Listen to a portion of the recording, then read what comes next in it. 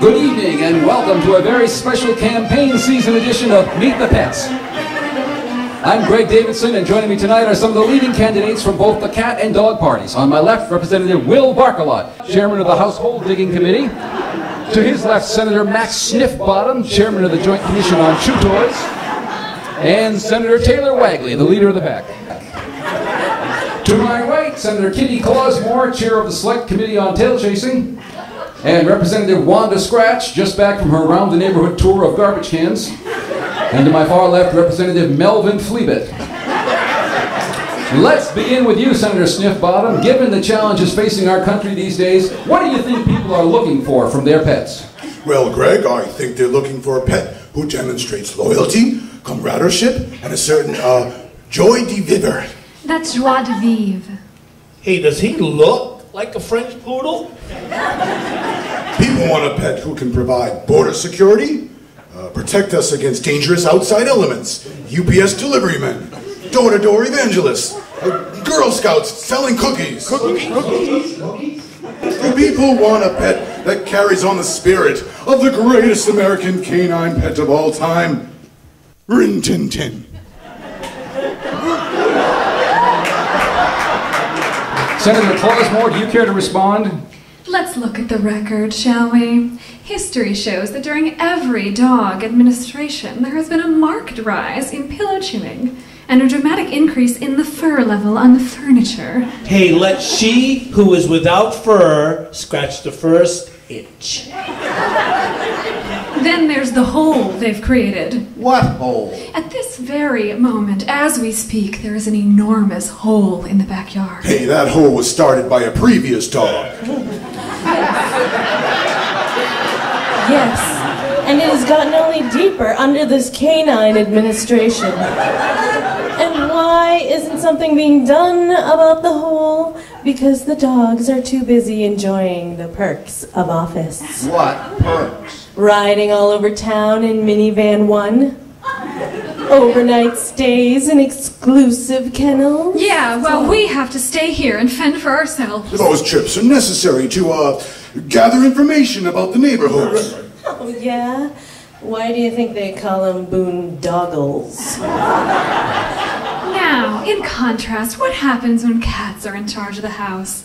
A marked decrease in mice. Peace and quiet return to the yard as those annoying songbirds start to stay away. And let's not forget that the polls say cats are easier to take care of than dogs. True, but the polls also say people overwhelmingly prefer dogs to cats. I don't believe in polls. All right, a question for all the candidates. Is there any room in the house for a viable third-party pet? What, like a hamster? Yeah, like that's going to happen. Well, perhaps a fish. Fish?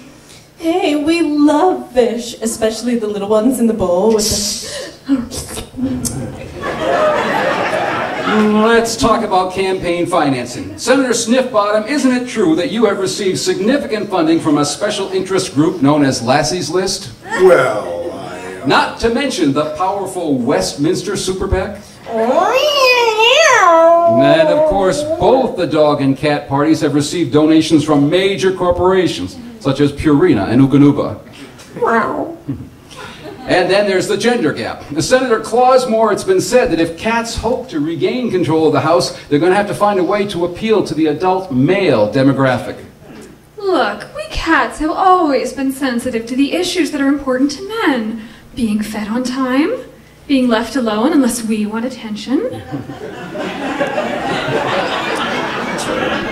Representative Fleabit, you've been fairly quiet. What do you have to say? Well, uh, well, well I, I think people are, are tired of all the hissing and barking, especially at night. Uh, I think dogs and cats ought to, to, to work together on the pressing issues of our time, such as having an open door policy, more treats. He's got a point there. But I think it's time to, to reach across the species lines and, and build bridges to those with whom we share the water bowl.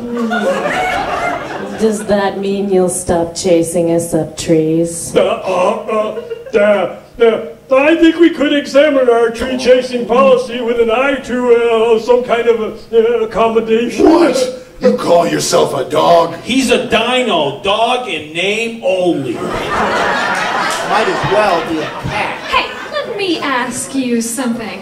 At the end of the day, who do people want to curl up with? An 80 pound doorstop that smells like a wet shag rug?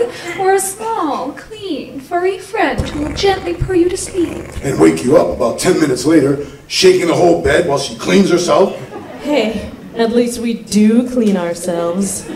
With all due respect, you smell like a garbage can. Yeah? Well, with all due respect, at least I don't walk in my toilet. Hey! Well, at least I don't eat other animals. Hey, watch it, furball! You watch it, trash breath. Another thoughtful, intelligent conversation. Join us next time on Meet the Pets.